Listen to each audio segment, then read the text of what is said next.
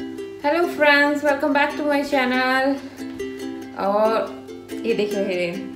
Hiren hello you want say something no okay तो आप लोग सोच रहे होंगे कि मैं इतनी तैयार श्यारों के क्यों बैठी हुई हूँ? क्योंकि आज है एक स्पेशल डे और वो स्पेशल डे क्या है कुछ लोगों को पता होगा जो मेरी वीडियोस देखते हैं या जो मुझे जानते हैं। और कुछ लोगों को नहीं पता होगा।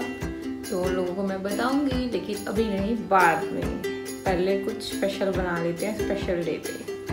ओके तो चलिए शुरू करते हैं स्पेशल डिश बनाना और आज मैं बनाने लगी हूँ गाजर का हलवा इंस्टेंट का वो जल्दी बन जाता है। और यहाँ पे ये ब्रिटिश कैरेट्स मिलती हैं, ये ऑरेंज वाली भी होती हैं इंडिया में तो रेड कैरेट्स मिलती हैं, यहाँ नहीं मिलती हैं, यहाँ पे ये वाली मिलती है। मैं इसे गाजर का हलवा बनाऊँगी। और अभी मैं इसमें ये थोड़ा सा पानी डालूँगी। जिससे कि काजू चिपके नहीं। और अभी हम कुकर का ढक्कन बंद कर देंगे। आप चाहें तो इसे खुला भी पका सकते हैं। कुकर में ही जल्दी बन जाएगा, क्योंकि मैं इंस्टेंट वाला बनाता हूँ। और मैंने यहाँ पे कुकर का ढक्कन बंद कर दिया। अभी हम इसे दो सीटी आने तक पकाएँगे।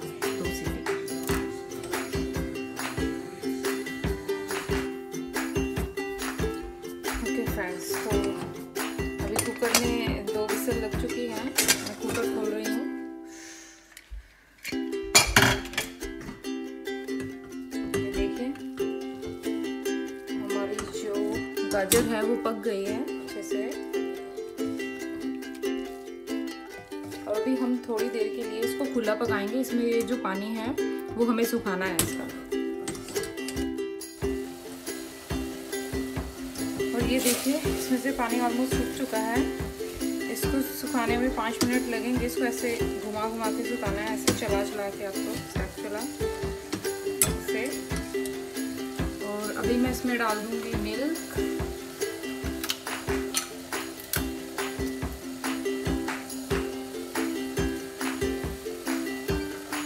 और मिल्क इसमें ज़्यादा नहीं डालना है।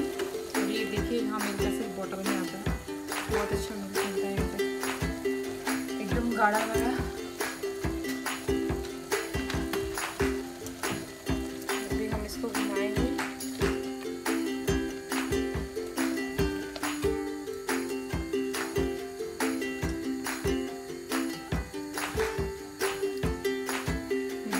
ज़्यादा दूध नहीं डालना है, इतना डालना है जितने में कि गाजर हमारी डूब जाए अच्छे से दूध में। उससे ज़्यादा नहीं डालना है, अभी हम इसको पकाएँगे फुल गैस पे। और ये देखिए, इसमें से दूध ऑलमोस्ट सूख गया है अच्छे से। और अभी मैं इसमें डाल दूँगी शुगर मेरे पास एक कटोरी शुगर है। आप अपने स्वाद के हिसाब से डाल सकते हैं शुगर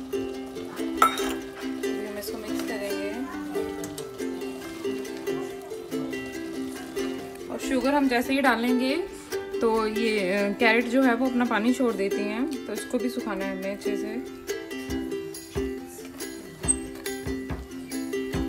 गैस फुल कर लेनी है।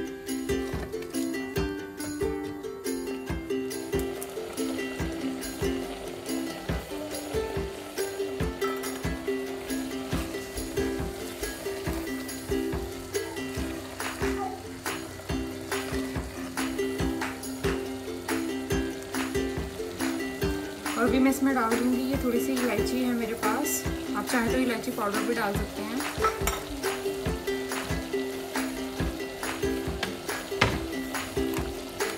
और मैं थोड़ा सा डालूँगी इसमें केसर। ये ऑप्शनल है, आपके पास ना हो तो मत डालिए। थोड़ा सा केसर डालेंगे हम।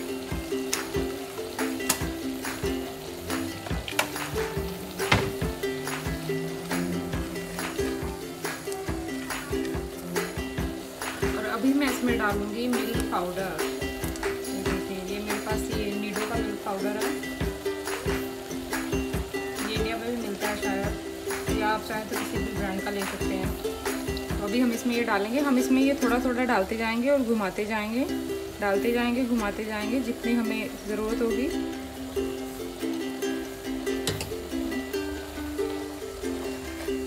डालना और उसको घुमाना है, नहीं तो इसमें लम्स पड़ जाएँगे। और ये मिल्क पाउडर मैं इसलिए डाल रही हूँ, ये हमारे मावे का काम करेगा।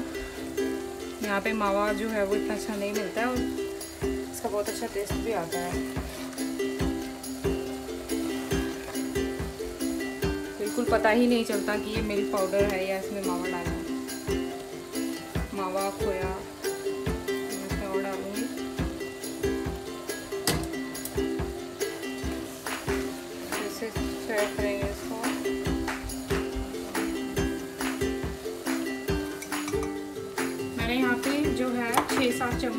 डाले हैं मिल्क पाउडर के।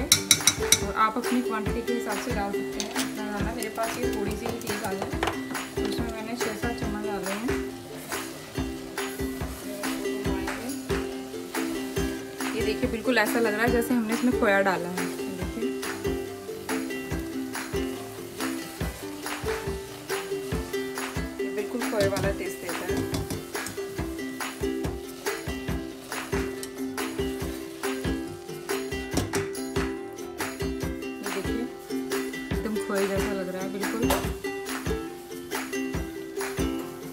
इसका टेस्ट भी एकदम मावे जैसा ही आता है। पता नहीं चलता बिल्कुल भी कि इसमें आपने मिल्क पाउडर डाला है, मावा नहीं डाला है। और अभी हम इसको सिर्फ़ दो मिनट के लिए पकाएँगे।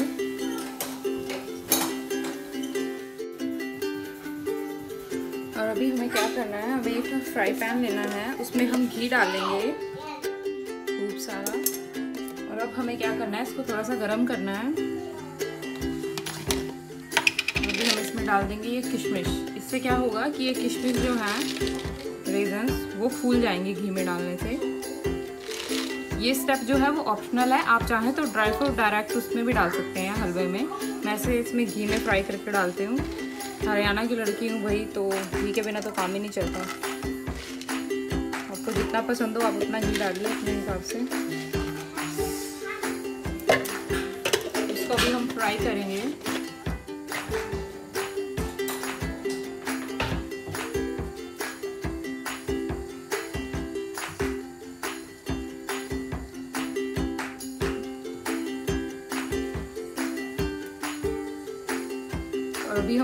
हम किशमिश को फ्राई करेंगे जब तक ये फूल नहीं जाएँगे। ये देखिए, किशमिश फूल गई है हमारी। अभी हम इसमें ये ड्राई फ्रूट्स डाल देंगे। काजू, बादाम ड्राई फ्रूट आप अपने पसंद के से ले सकते हैं। जैसे आपको पसंद हो, पिस्ता भी डाल सकते हैं इसमें आप। मैंने यहाँ पे सिर्फ़ काजू और बादाम लिए हैं और किशमिश है। ये हो गया फ्राई अभी हम गैस बंद कर देंगे। जैसे ही हम इसमें ड्राई फ्रूट डालेंगे, हम गैस बंद कर देंगे। नहीं तो हमारी किशमिश जो है वो जल जाएँगी।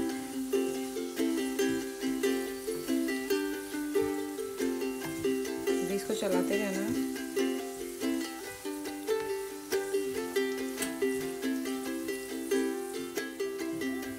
है देखिए हमारी किशमिश कितने अच्छे से फूल गई है। फिर हम क्या करेंगे? ये जो हमारा ड्राई फ्रूट जो हमने फ्राई किए हैं, ये हम इसमें डाल देंगे अपने गाजर के हलवे के अंदर।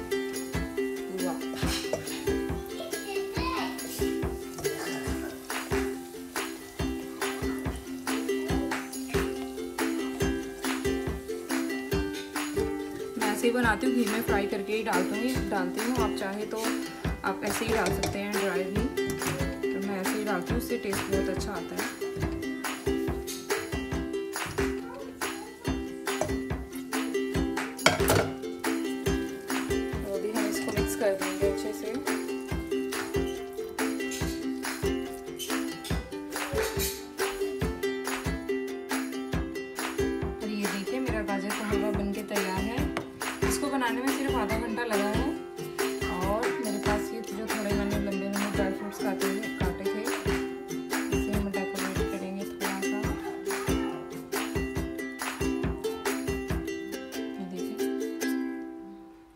अच्छा बना है।